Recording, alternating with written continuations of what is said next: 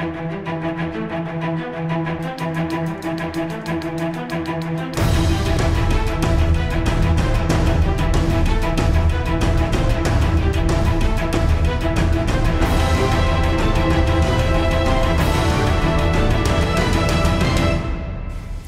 в ефірі телепрограма Шахімат. З вами Тетяна Кондрашевська. Сьогодні ми поговоримо про мітинги та протести підприємців проти карантину вихідного дня.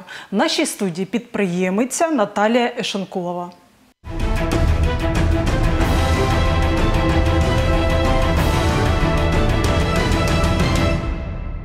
Наталія Єшанкулова, підприємець, громадський діяч. Освіта Національний технічний університет, Дніпровська політехніка, спеціальність правознавство. Активна учасниця акцій протесту підприємців, хобі колекціонування антикварних брошок.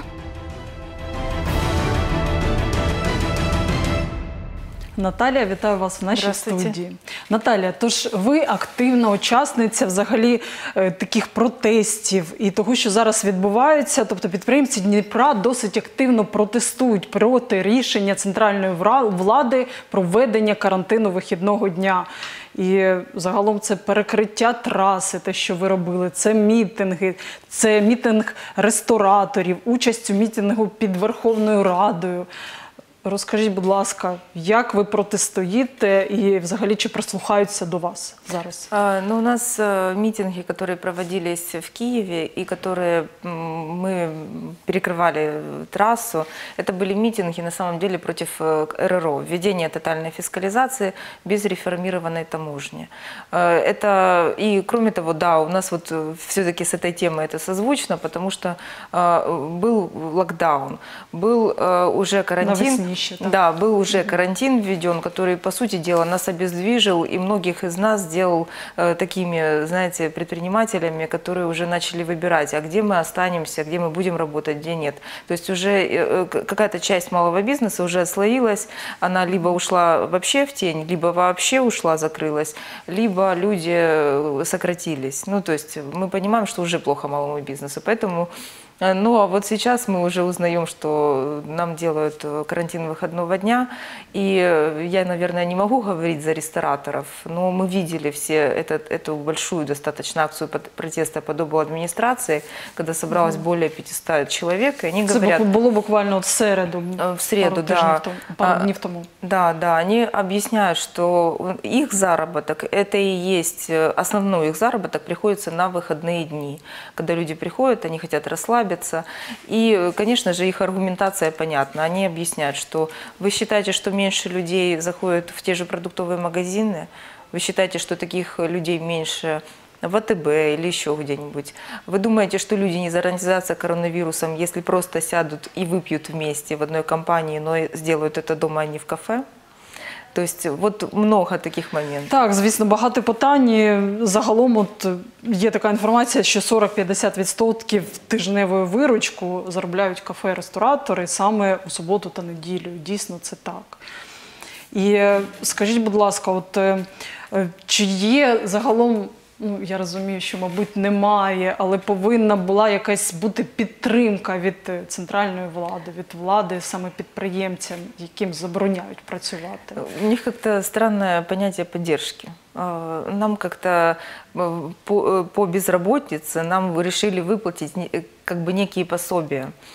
И на детей пособия, и на нас пособия. И то дети до- только до 12 лет. Как будто бы после 12 дети уже не дети, они уже сами Значит, они сами уже зарабатывают. зарабатывают. Да, они уже сами Логично, зарабатывают. Хотя на самом деле после 12, мне кажется, расходы только растут на детей. Э, Так вот, э, нам это дали, а они не понимают, наверное, что у нас основная статья расходов была в этот период. Это именно арендные платежи. Это сопутствующие платежи, наш, которые сопутствуют наш бизнес, которые они ежемесячные, независимо от того, э, мы работаем или не работаем.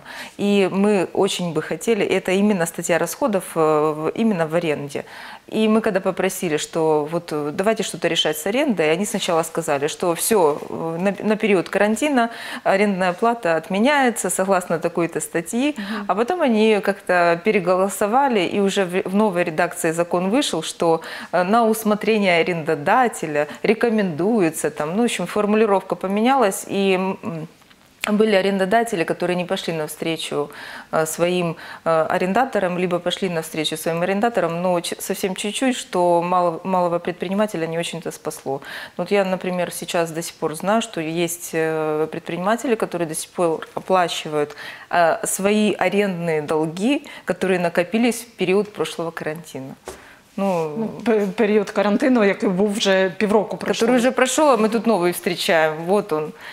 И многие просто, если тот, э, за тот карантин еще выплачиваются определенные долги, то мы должны понимать, что за этот, в этот карантин они уже просто уйдут.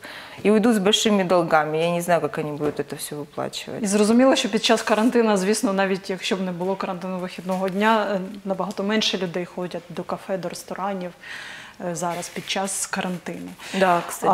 А, скажіть, будь ласка, от можливо, у вас є така інформація, яким чином е, в зарубіжних країнах, наприклад, в країнах Європи чи з- США, допомагають е, саме підприємцям, середнім та малим підприємцям? А, У них э, совсем другой уровень жизни, э, везде по-разному. Но есть даже люди, которые получили, например, трудовую визу И, уехали туда работать, то им выплачивают достаточно большие пособия на уровне их за- заработка, который они там получали, когда работали. А, Но, э, опять же таки, это другой уровень совсем. Если мы говорим о нашем уровне, да, к нам же не приезжают люди специально подзаработать у нас в стране, да, или в нашем регионе. Но если мы уже говорим об этом, то свой бизнес можно бы было как-то спасать, да, но вот э, тут нужно, э, самое главное, если уходить в локдаун или а, если у нас будет какой-то опять вот такой жесткий карантин, да, то это должны придерживаться все. И это не должны быть вот избирательные какие-то э, закрытия бизнеса. То есть э, представьте себе ситуацию. Магазин не работает, а почта и интернет-магазины, которые отсылают этот товар, пересылают своему клиенту, они работают. То есть на почте у нас, да, вот мы делаем вид, так, что у нас локдауну там для есть- пошти немає. Э, зовсім. Нет, нет. То есть это средства связи, это стратегически важные объекты. То есть у нас люди, получается, бизнес малый, который арендует и который платит все налоги, он не работает. А те, кто через интернет, те, которые, давайте прямо говорить, э, г- кое-где, ну, с- наве- ну, скорее всего, в тени находятся. Досить довго Ані- обговорювали щодо роботи епіцентру і нової лінії, наприклад, під час карантину. Я маю на увазі того, що був е, півроку майже тому. А з- як зараз? Що вирішили? Эпицентр сказал, что будет работать. Это известное интервью. То есть э, эпицентр занимает достаточно жесткую позицию, он даже уже не будет скрываться. Поэтому, но я хочу сказать, что, наверное, это правильная позиция, которая, они не говорят, что, мол, вы все сидите, да, там, не работаете. Они говорят это во всеуслышание. Таким образом, они дают нам возможность тоже из- изъявить свое, свое мнение и свою як позицию. вони.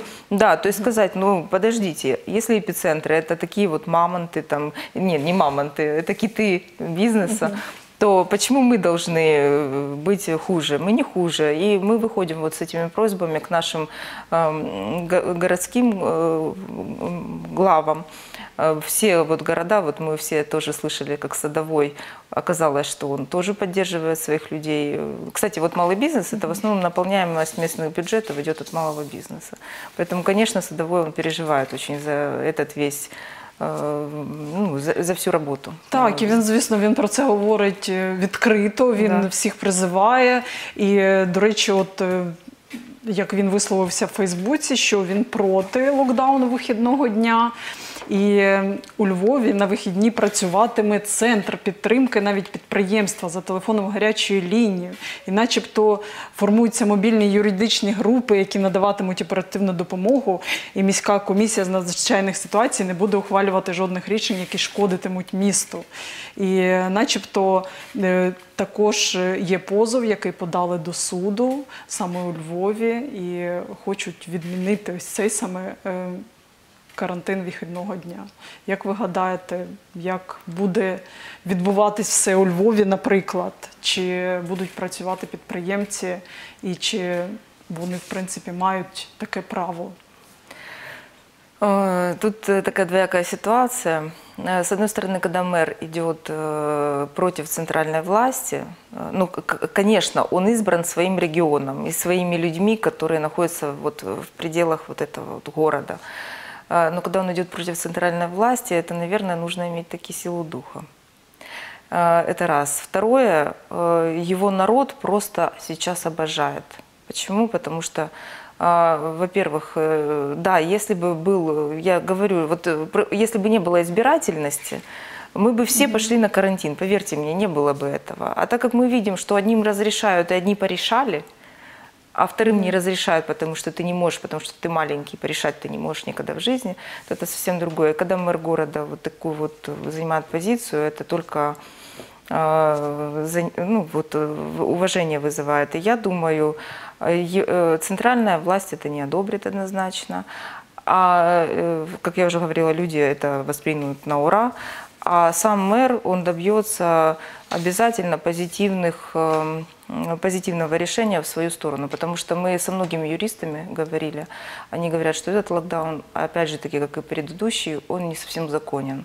У нас нет чрезвычайного положения, у нас, э, если мы говорим о вирусе, то есть как он происходит, то есть многие такие моменты, которые ну, не, не так вот утверждаются. На самом деле, даже если сейчас э, прилетят какие-то, прилетят это в кавычках, ну вот штрафы на предпринимателя, мы тоже понимаем, что мы их сможем опротестовать. И опять же таки, если уже будет прецедент с помощью, э, прецедент э, в решении этого вопроса с помощью вот мэра Львова, Садового, то все, вся Украина, она будет, э, в принципе, те все штрафы, которые, возможно, выпишутся, они просто полетят в урну.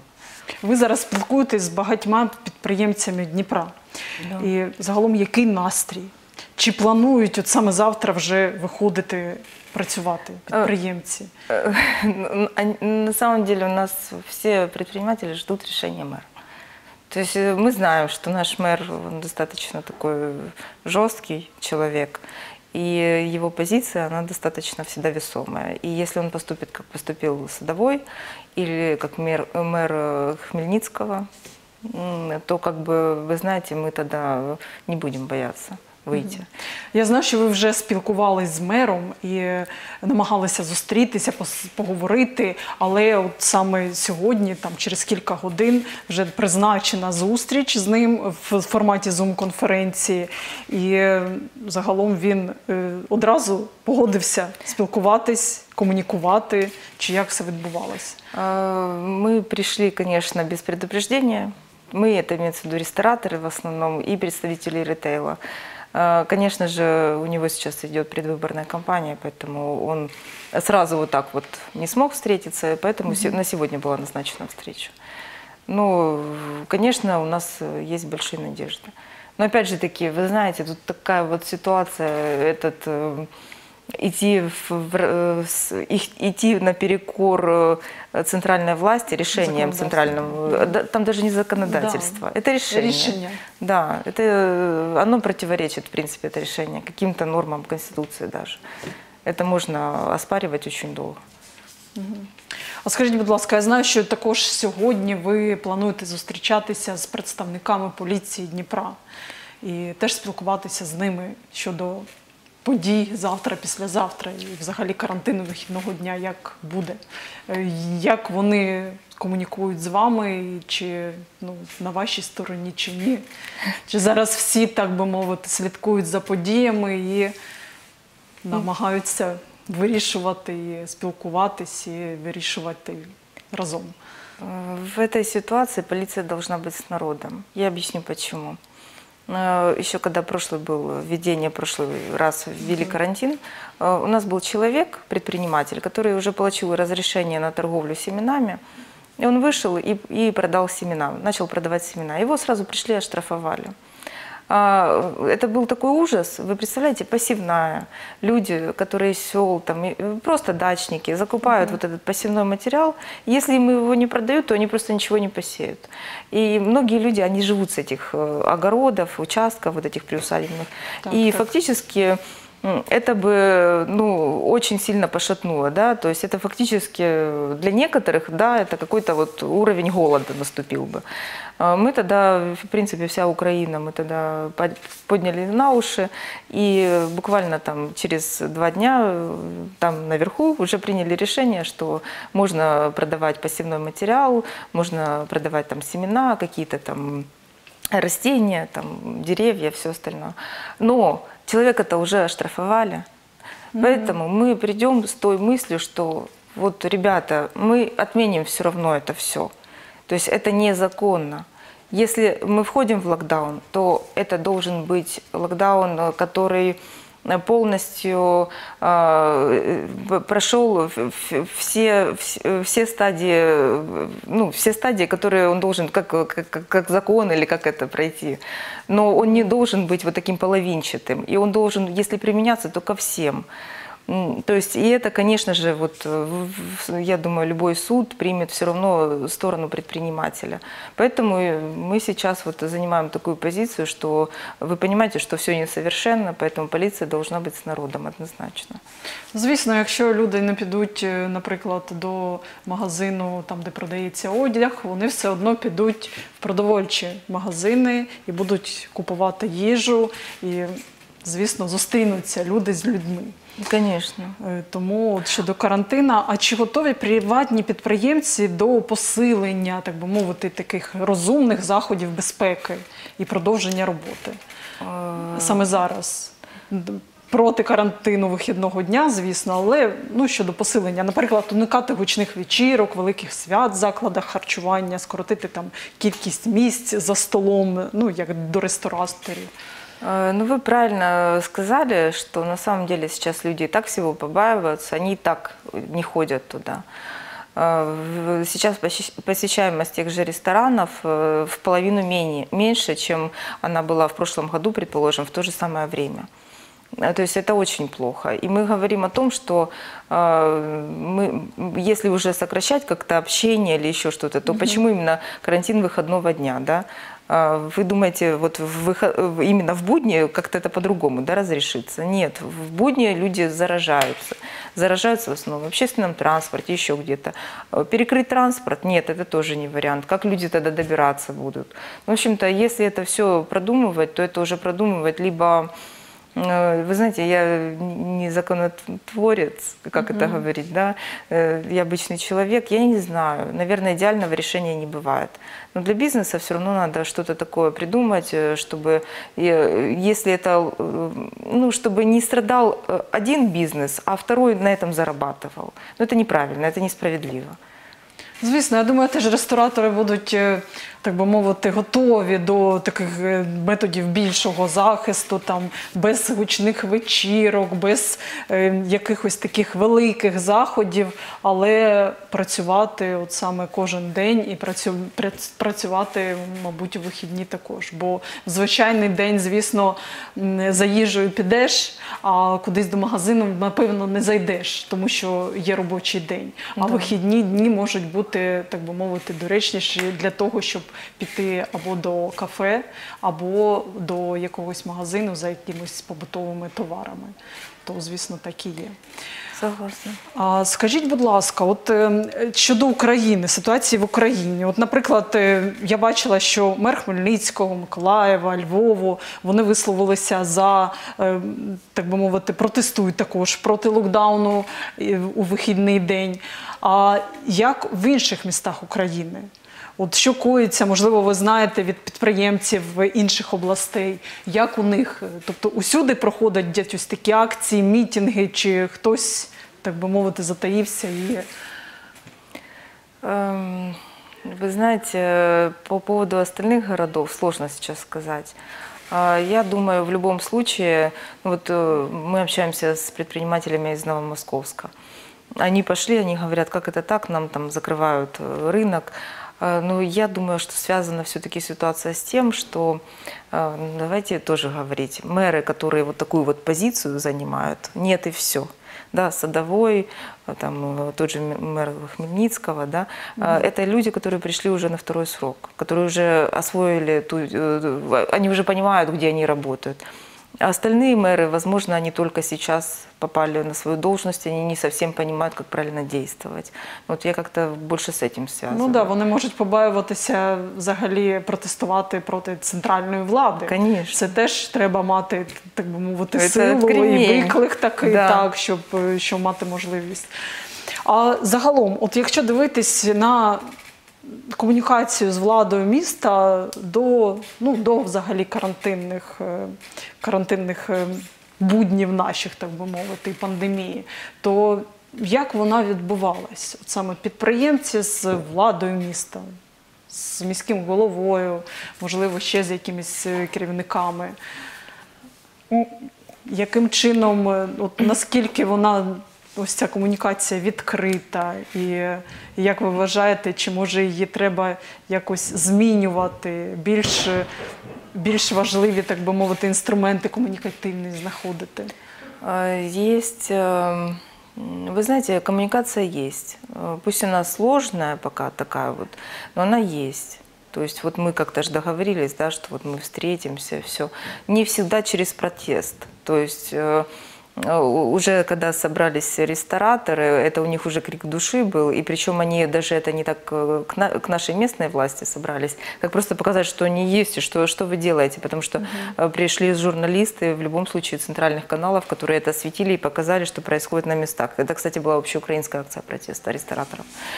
А что касается власти э, местной, я считаю, да, они с нами коммуницируют. Я считаю, что они, конечно, заинтересованы в том, чтобы мы были, чтобы мы процветали, потому что я повторюсь, все-таки наполнение бюджета именно местного, это идет от единого налога, от прочих, прочих там платежей, лицензий, там всего остального. То есть наполняемость бюджета зависит напрямую, в том числе от малого бизнеса. Ну так, так і є. Може, Да. знаєте, який відсоток, от, хоча б приблизно. К э, к сожалению, не знаю. А скажіть, будь ласка, от е, чи в місті в нас, якщо дивитись на Львов, то там буде працювати на вихідні міська комісія з надзвичайних ситуацій, так би мовити. Формуються мобільні юридичні групи. Чи є ось така підтримка саме в нашій в Дніпропетровській області і у Дніпрі? Чи є такі юридичні групи, які будуть захищати рестораторів, які будуть захищати приватних підприємців у нас? Э, Мы действуем очень быстро, стараемся быстро очень действовать. Поэтому на данный период у нас есть адвокаты, которые э, у нас есть предпринимательские группы, рестораторов отдельно и отдельно ритейла. Все-таки мы немножко отличаемся, хотя в принципе цель одна М, То там есть вот эти э, предп- э, адвокаты и юристы, которые согласились выезжать мобильно на и реагировать как-то. Ну, в любом случае, опять же таки, а если в группе будет призыв «приедьте, помогите мне», то мы как бы, многие из нас смогут сорваться, приехать и помочь. Ви казали мені от саме перед ефіром, що є, е, так би мовити, така загальна група в соцмережі, е, там, де зібралися всі, ну. Так би мовити, всі, майже всі е, зацікавлені е, ФОПи, наприклад, так, е, малий та середній бізнес, які зараз, от так би мовити, працюють такою, так би мовити, командою великою. Якщо потрібно от, або організувати мітинг якийсь, або якийсь захід, то всі дуже швидко підтримують. Як працює така команда? Як вам вдалося ось так об'єднати підприємців міста? Это работа, сработало цыганское радио. На самом деле мы друг друга все ш- шапошно знаем. То есть мы там где-то встречались то на закупке, то и, э, просто в торговом комплексе, то на рынке встречались. То есть мы друг друга знаем. Э, к- Как-то, ну, хотя бы визуально мы знаем друг друга. Э, И э, перв- э, я просто сделала группу, я там сначала добавила просто своих друзей, знакомых, а потом они подобавляли. И вот так у нас получилось, что группа разрослась, и это очень важно, что она как бы существует. Почему? Потому что Раньше, вот, например, какой-то митинг, мне приходилось вставать, делать агитки, идти, раздавать всем, потом Або телефонувати да, всем, всем звонить. А теперь вот он, канал связи. То есть теперь уже не надо так. Хотя, конечно же, личный разговор и вот так э, тех активистов, которые вот очень э, болеют за это, которые в первых рядах, конечно, приходится обзванивать. Но я делаю это с удовольствием. Потому что эти люди, они, конечно же, в в своем кругу общения, они тоже других подтягивают, они привлекают к нашей деятельности и рассказывают, главное, разъяснительную работу проводят, что вот э, если вы не присоединитесь, будет то-то, то-то.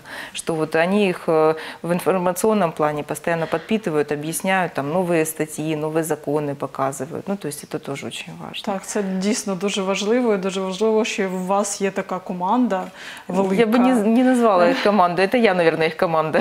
Это просто вот лю- люди, э, вообще вот м, предпринимателя тяжело заставить кому-то вот подчиняться. И потому что он Підприємець це привык- вільна Да. людина, яка створила Да, свій да. власний бізнес і, в принципі, є там вже головою.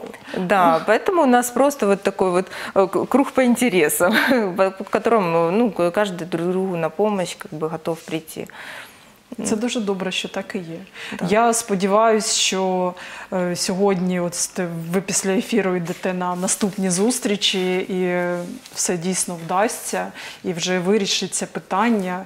І ну, я сподіваюся, що це буде найкращим варіантом. Спасибо вам огромное. Дякую вам за те, що прийшли, розповіли. А я нагадаю, що всі випуски програми Шахімат ви можете подивитись на сайті телеканалу Відкритий, OpenTV Media, YouTube каналі, а також на офіційній сторінці телеканалу Відкритий у Facebook.